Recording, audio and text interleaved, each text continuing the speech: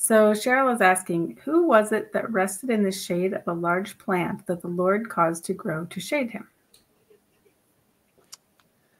So this is one of those that could be answered really quickly, and I'll, I'll, give a fairly quick answer. And uh, in short, the answer is Jonah. So the, the background on this is starting at Jonah chapter 4, verse 5, talks about how right after Jonah went and preached to Nineveh, that you guys are all going to die in 40 days, God's going to destroy you. Um, he went out of the city and he sat on the east side, which is interesting because when Adam and Eve left the Garden of Eden, they went out of the east gate. So here now, Jonah goes out. He's sitting on the east side of the city and he's watching what comes of it. He's sitting there and it's getting hot. The sun's beating down on him. And it says in verse 4 And God, the Lord God, prepared a plant and made it come up over Jonah that it might be shade for his head to deliver him from his misery. So Jonah was very grateful for the plant. But as morning dawned the next day, does verse 7 says, God prepared a worm and it so damaged the plant that it withered. And and then Jonah goes on to get really angry. You actually says it. Um, he's angry, and God says to Jonah, "Hey, like, why are you so angry? It's just a plant. Just a plant died. Why are you so upset about that?" And he says, "It is right for me to be angry, even to death."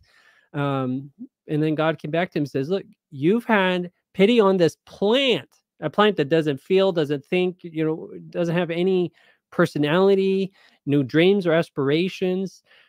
you have pity on that plant and and it says for which you have not even labored nor made it grow which came up in a night and perished in a night and should i not pity nineveh that great city in which are more than 100,020 sorry 120,000 people who cannot discern between the right hand and the left and much livestock so here god's saying yeah you're you on the one hand, Jonah is really upset over the death of a plant, but I'm trying to help 120,000 people who have no clue what's going on. Like we, we we've been talking about, right? How so many people just don't have a clue about the personality of God. They don't have a clue about the forces of evil that are working behind the scenes to just bring pain and suffering to the world and how God is trying so hard to free us from sin, to free us from the captivity uh, under the tyranny of Satan we have no idea. So many people are clueless.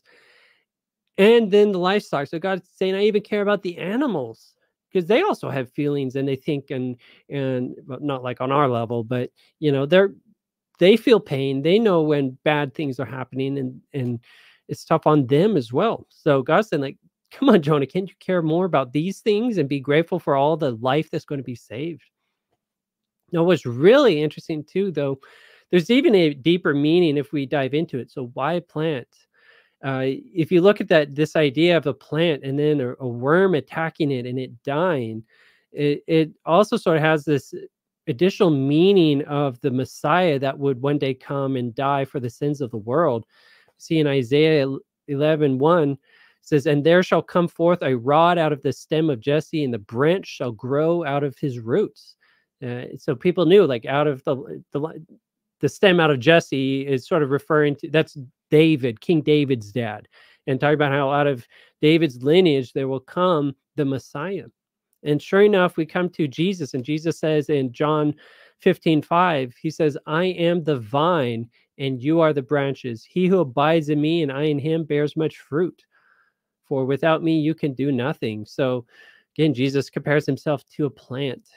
And indeed, that plant died for the world and became, uh, well, and then Jesus resurrected. And now Jesus is, in a sense, the tree of life for all of us.